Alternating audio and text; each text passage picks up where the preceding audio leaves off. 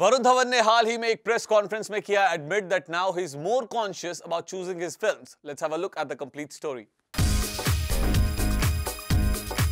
Varun Dhawan ने consciously लिया है डिसीज़न कि वो अब इस तरह की फिल्म्स में काम नहीं करेंगे, जिसमें वुमेन को ऑब्जेक्टिफाई किया जाता है। जूम से एक्सक्लूसिव इंटरेक्शन के दौरान वरुण धवन ने कहा I think that's a that's a uh, conscious thing that now things have begun to change. But having said that, Yeah. this has to be a very personal choice because in 2018 anything and everything can offend people also. वो तो मतलब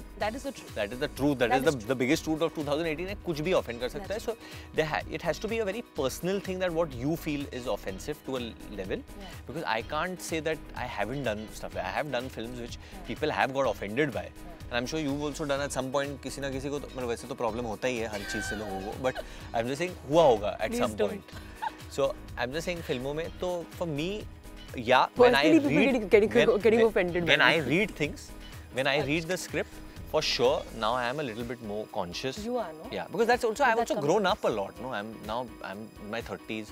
Pehle, when I started, I was 24, so things were different. Yeah. So it has to be from your age also what you think is cool or not cool. That's, That's right.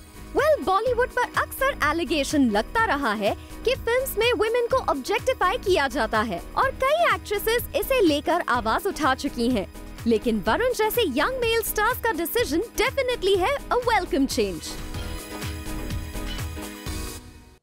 repercussions होते हैं and sometimes the positive repercussions come out जब आप एक healthy debate करते हैं। I mean for years we've been saying about कि कैसे Bollywood uh, movies की वजह से लोगों को ये आइडिया मिला है that's okay to stalk girls it's okay कि उसकी नाम में भी हाँ है इट्स ओके कि उसको खून भरे लव लेटर्स भेज दो एंड उसको सडनली प्यार हो जाएगा एक बार नहीं तो चौथी बार में हो और जाएगा। अगर आप अपनी नस काट लोगी तो वो भागते हुए बिल्कुल हॉस्पिटल आएगी और कहेगी हाँ मैं तुमसे ही प्यार करती हूँ। Exactly and that's the kind of impact it has made on the society and जब हम लोगों ने 2018 में आकर ये रियलाइज़ किया कि Bollywood movies have been a big reason ये सब ये इस तरह का हमारी सोच बनती जा रही है।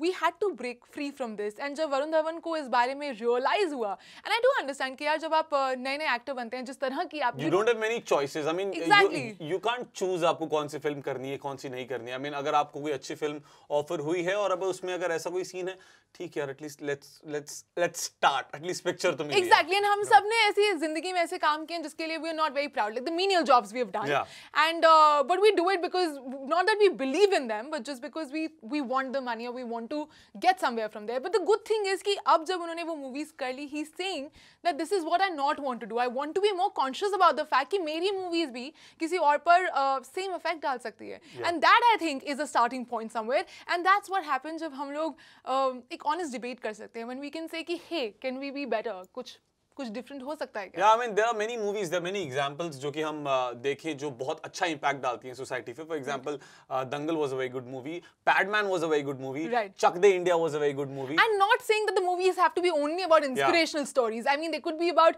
fun things they could be about love लेकिन but not the love that makes you stalk not the love that makes you a creepy person who doesn't understand कि यार you know like I, I, hate the fact Kunal ki hamari Indian Bollywood movies mein abhi tak it's not taught or it's never shown how to classically like really approach a woman. Do you know how to approach a woman? Yeah, I know how to approach a woman. Really? Yeah, but I don't want to give classes on Planet Bollywood. But yeah, I really respect the fact that Varun Dhawan has agreed and he has admitted and finally has realized that what kind of movies he want to do and uh, it's uh, it's it's it's better, you know, it's it's good for the uh, industry, it's good for the society because Bollywood ek impact chhodta hai society pe. And having that, it's also very heartwarming to see कि एक male actor finally इन सब चीज़ों के बारे में बात कर रहा है because Indian actresses have come up and said like Aishwarya Rai Bachchan said कि she doesn't want to do uh, A uh, raunchy number in the movie Fanne Khan. yeah she said I don't think objectifying women is cool and I don't want to be part of it Yeah.